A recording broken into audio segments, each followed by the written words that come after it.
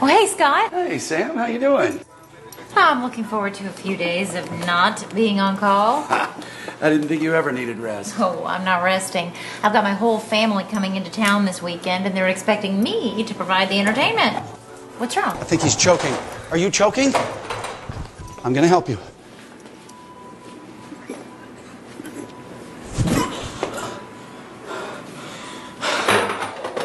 Sit down, sit down. Choking occurs when food or other items block a person's airway. In severe airway obstructions, the victim usually will have signs of poor air exchange and breathing difficulty, such as a silent cough, cyanosis or turning blue, and an inability to speak or breathe. The adult or older child may clutch the neck with both hands, making the universal choking sign. This is a signal to ask if the victim is choking.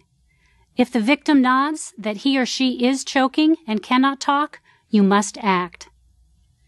In a standing or kneeling victim, you'll perform an abdominal thrust often referred to as the Heimlich maneuver. Stand or kneel behind the victim and place your arms around the victim's waist. With one hand, locate the navel. Then make a fist with the other hand. Place the thumb side of your fist against the victim's abdomen, just above the navel and below the breastbone. Grasp your fist with your other hand and press your fist into the victim's abdomen with a quick, forceful upward thrust. Repeat thrusts until the object is expelled from the airway or the victim becomes unresponsive. If the victim is too large for you to wrap your arms around the waist, pregnant or overweight, for example, wrap your arms around the victim's chest and do chest thrusts instead of abdominal thrusts.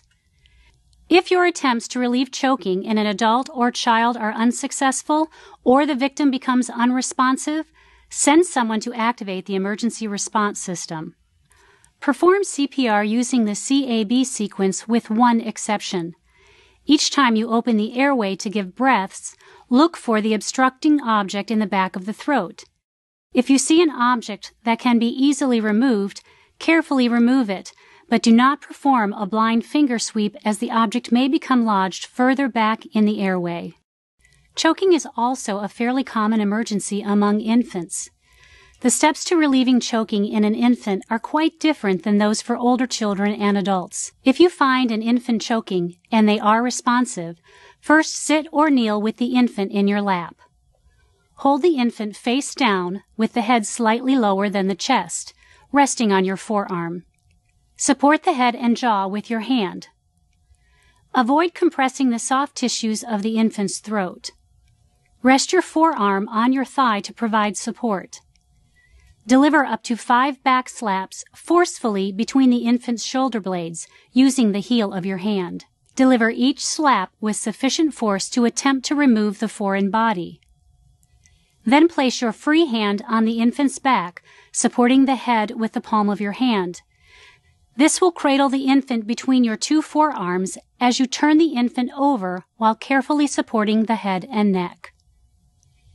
Keep the infant's head lower than the chest and deliver up to five quick downward chest thrusts the same way you perform compressions, just below the nipple line, over the lower half of the breastbone.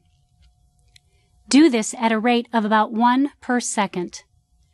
Repeat the sequence of five back slaps and five chest thrusts until the object is removed or the infant becomes unresponsive.